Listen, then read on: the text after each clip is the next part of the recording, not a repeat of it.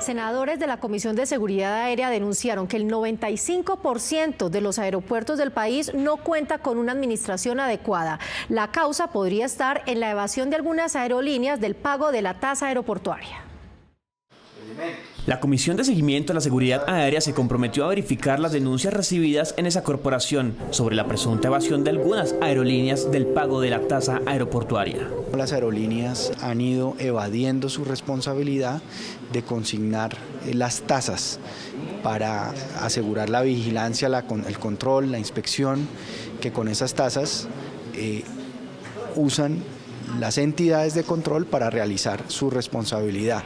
Asegura el senador que es lamentable que estas situaciones se presentan justo cuando el número de viajeros en el país ha crecido vertiginosamente en la última década y podría ubicar a Colombia en el cuarto lugar de países con mayor crecimiento de operación aérea civil.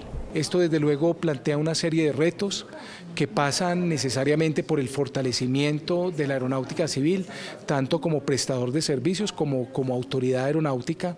Y estos son los temas que hemos venido discutiendo en detalle con esta comisión, con el Senado de la República, con la Cámara de Representantes, en un proyecto de ley que recientemente fue aprobado el.